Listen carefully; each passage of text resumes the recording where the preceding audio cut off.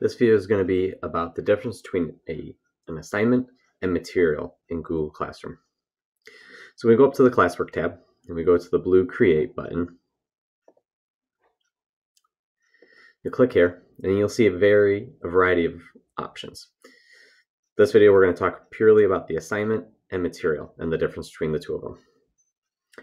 An assignment is when you plan on giving the students materials and then something that you will be grading and that they can edit.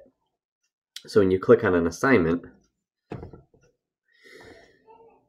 you will have the option to put in a title, instructions, and then you can add a Google Drive file.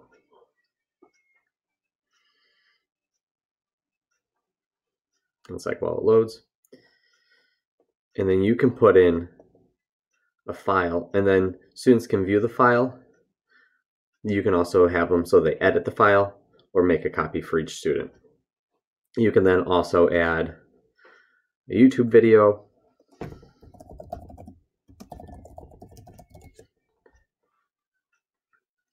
that they could watch. So maybe you have some sort of assignment where you're going to have them watch a video and then write what they learned about it. Or you might have a worksheet or you might have a reflection with material, you can still add YouTube videos. You can still add items from Google Drive, but you'll notice that when I go to that bar, there isn't an option to make a copy for students or for them to edit it. All they can do is look at it. So I use material. Almost everything that I put here on this, on the CTE resources page is material because it's purely a reference for you to look at. But whenever there's something like a log or something that you're going to be filling out, then I make it an assignment. So the main difference again between assignment and material is that material is something purely as a reference for them to look at.